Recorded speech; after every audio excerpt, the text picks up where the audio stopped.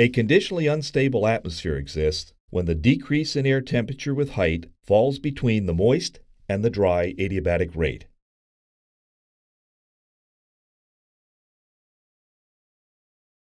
A conditionally unstable atmosphere may become unstable if a rising air parcel becomes saturated and a cloud forms.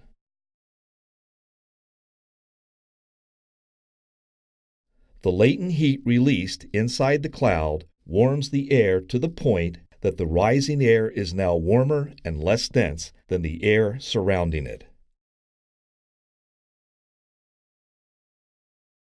The cloud will continue to build until the rising air inside the cloud becomes the same temperature as the air surrounding the cloud.